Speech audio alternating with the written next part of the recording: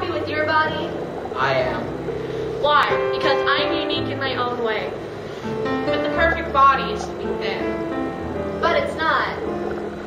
All the celebrities and people in the magazines are fake. But not everyone can be a thin model. Only 5% of the world population can be that body type, Ecto. I'm happy with my body because of my height. I'm happy with my body because I can show who I am. I'm happy with my body because of my eyes. I'm happy with my body because I'm tough. Yeah.